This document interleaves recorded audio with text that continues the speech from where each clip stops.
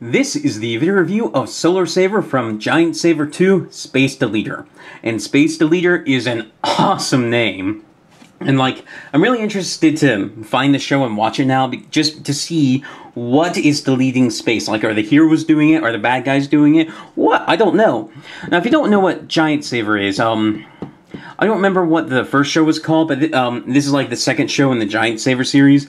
And Giant Saver is a basically Chinese Super Sentai. It's a, uh, uh, I don't want to call it a knockoff line of Super Sentai because uh, Power Rangers is that too, but no one calls it a knockoff. It's uh, Chinese, uh, China's own version of Super Sentai, and I don't begrudge it for it because this thing is awesome. And I, I actually have um, the first Giant Saver. Um, like all three mechs from the first Giant Saver on the way. But anyway, this is Solar Saver. We start off with the uh, Dream Fighter up here, which is, um, I'm not entirely sure what this thing is. It's either like a satellite, because like these look like solar panels, or it's like a long distance drone or something, but the wing configuration is weird. Like, I could see something having um, almost like a gold wing shape uh, like this, but um, it doesn't quite have the connection necessary to make it look natural. And uh, th that's mostly because the thing just turns into the helmet and shoulder pads for um, all the different combinations of um, uh, Solar Saver and Planet Saver, Galaxy Saver, Cosmos Saver, and all, all the different um, combinations after this. But anyway, um, it's not too bad, but it is a little bit weird. To get prep for transformation, we're going to take the nose here. We're going to bring it back like this until it clicks. And then we'll bring the wings down like this a little bit, and uh, they're, they're just tabbed in very simply. They're going to rotate, them up like this just to keep them out of the way. And then we'll, we'll put a Dream Fighter off to the side. Uh, next one we're going to look at is, um, well, we're going to look at both of the uh, the Rising Arrow, which is this red one here, and the Sky Transport, which is this blue one here. We're going to look at them at the same time. Now, as you saw um, at the very start of the video, all three of them were kind of hooked together. Uh, the uh, Dream Fighter was not actually tabbed into this whole thing. It was just kind of sitting in this notch here. But the uh, Rising Arrow does actually uh, clip onto the uh, Sky Transport here. And so it, it is nice that they can all kind of sit together on a shelf if you don't want them to be in their Solar Saver mode.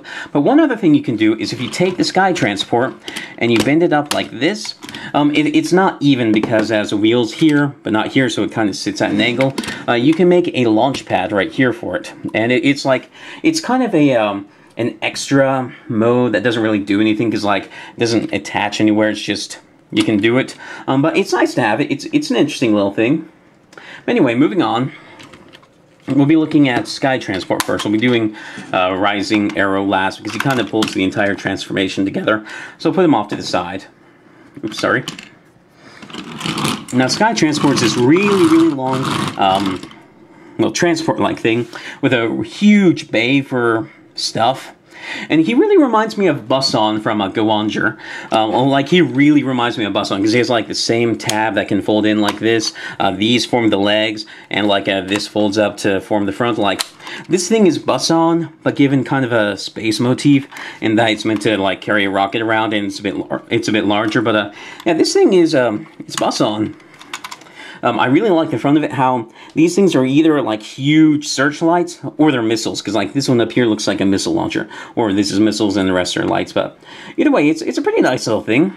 To get transformed into its leg mode, you'll start by folding these things in, fold these down, like this, and then you'll take these, you'll pull out the treads down here because these form the knee pads and you, you, have to pull them out. You can't just leave them in. If you leave them in then it won't uh, it won't marry properly to the front because these things will press against the thigh bits here.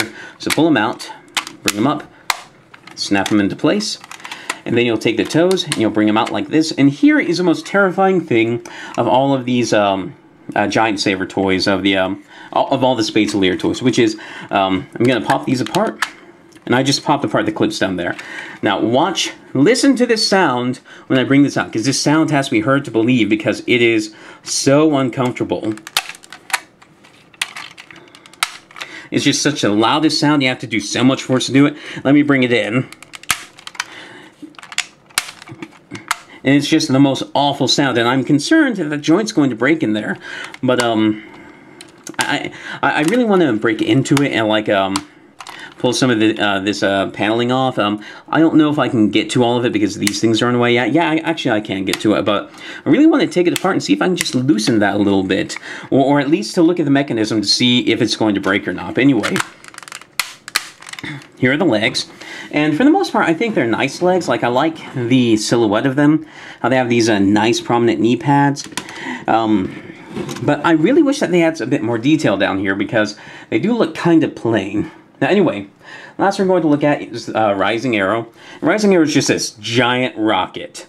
And uh, I love how it has the... Um, how, how it has just this insignia just stamped on it like, yeah, screw aerodynamics, I'm flying with a giant insignia! And yeah, yeah, it's just a, um, a pretty cool big rocket. Now to, um, it has one gimmick in this mode, which is you can open this up and you get a giant laser thing. And the two halves here are geared together. Now to transform this, you're first going to pop this off, which will be the weapon. Then you're going to take these, pop these off, and oops, they don't tab together like they're tabs, but they they're more like uh, tabs to keep them in line, not tabs to keep them together. But um, the arms come off like this. Then we'll come in here. We'll telescope out the arms. Pull out this uh, connector port here. We'll telescope out the arm. Bring out the connector port here. And then we have this section here, which is just the chest. Like, you don't do any transformation to this except uh, pull these out, um, which is more of an more of a uh, an aesthetic thing. But you don't do anything to this. You just um, pull the nose and then the midsection off. And then you take this and then you chunk it down onto the top. Now it connects in three places. There is what looks like uh, the same kind of connection as the arms here, right here. Then there are clips in here and in here.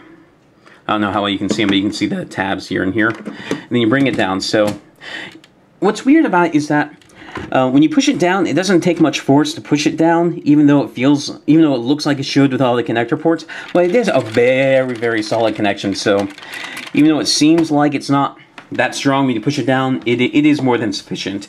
Anyway, next you will take the arms and you'll pop them on like this. And, and again, um, it springs, so I'm real I have allergies, so if I end up being sniffly, uh, I apologize. Then you take this, and the way that the arm connects is that there are uh, clips here and here that use to uh, connect those just in rising arrow form. Those will connect to the same uh, tabs here and here that use to uh, connect to the arms, but you're going to have offset. So, um, so as before, when it was connected to the um, to the uh, to the rocket. It was um, uh, this was on just on this side, but now you want to bring it uh, closer to the middle like that. And anyway, for the most part, this is Solar Saver all completed. If you didn't have a Dream Fighter here, you could just have uh, these guys be just one robot. And I do think that they work quite well. They are a nice, a nice robot like this. But we're about to dial it up to 11 and give them a really awesome helmet and some really awesome shoulders. Uh, there are um, tabs here and here, and then clips here and here. We're just going to drop those down like this. And then we're going to bring these down onto his shoulders like that. And this is Solar Saver in his robot mode, and he looks awesome. I love the way this guy looks. Like, this is the kind of stuff that I want Bandai, uh, uh, Bandai of Japan to be making. Well, this is the kind of stuff I just want Bandai to be making. Stuff that looks awesome and cool like this. Like, I'm tired of uh, Super Sentai Mecha being more about gimmick than presence because this thing has presence and it looks awesome. Like I just want something that's simple but looks great and has a somewhat interesting combination, um, even if it's um, a little bit simplistic. Because um, like I'm not a super huge fan of this guy's parts forming or of how little you have to do to actually put them together because he is quite simple. But the individual things are all big and chunky and cool. The little bit of transformation they do isn't bad, and then the final robot looks awesome. And so I'm very happy with this. I really like this guy. Um, so if you want to get this guy, um, you're either going to have to pay a premium on eBay, or you can go to sirtoys.com and buy it there. And this guy, I think, is about $44 on Sirtoys plus shipping, which, uh, depending on where you live, might be a lot.